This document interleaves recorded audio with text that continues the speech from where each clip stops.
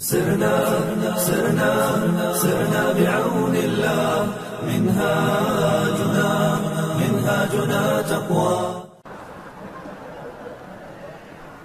Kenapa banyak jamaah ketika sholat memijak kaki kita? Kenapa jamaah ketika sholat banyak memijak kaki kita?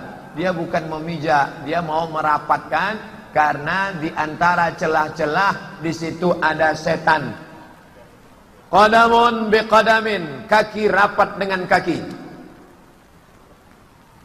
Mangkibun bimangkibin, bahu rapat dengan bahu. Kaki rapat dengan kaki, bahu rapat dengan bahu. Kalau sekali kita tempel, ini kaki teman, ini kaki dia. Sekali kita tempel, dia diam aja, berarti dia termasuk orang yang nyaman kalau ditempel. Tapi kalau sekali kita tempel, dia geser, jangan kita tempel lagi, berarti dia orangnya penggeli. Gak tahan dia. Saya termasuk orang yang nyaman. Kalau saya sedang sholat, ada orang nempel kaki saya, saya diam aja. Karena saya tahu dia sedang menjalankan syariat agama Islam.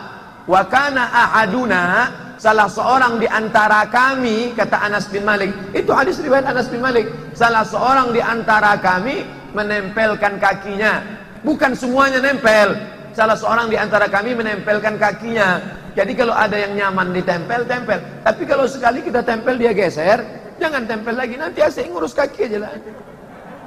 Imam udah sampai habis patihannya, kita masih ngurus kaki.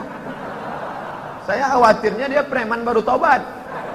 Kita injak sekali, dipijaknya kaki kita dua kali. Enggak, lu tahu.